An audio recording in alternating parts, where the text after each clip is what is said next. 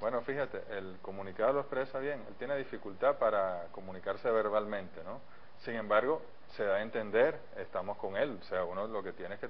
poner atención y él comunica perfectamente sus decisiones. Cuando nos las escribe también, en algún momento él reflexiona, escribe algunas cosas, las comparte con nosotros, pero él perfectamente se comunica y se da a entender, no tiene, bueno, la voz que lo caracteriza,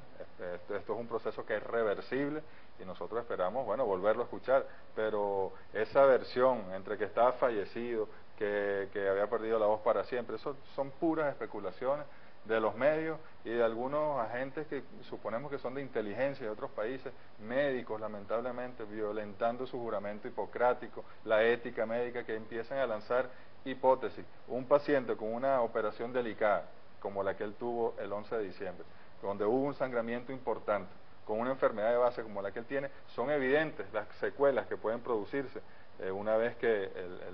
pasa la cirugía y se enfrenta a una gravedad que fue importante. De manera que si pueden ocurrir 20 cosas, entonces estos señores lanzan las 20 cosas y por supuesto si ocurren tres, están dentro de ese listado de 20 cosas, pero ellos no tienen ni la certeza ni tienen acceso a la información del comandante Chávez, lo que tratan es de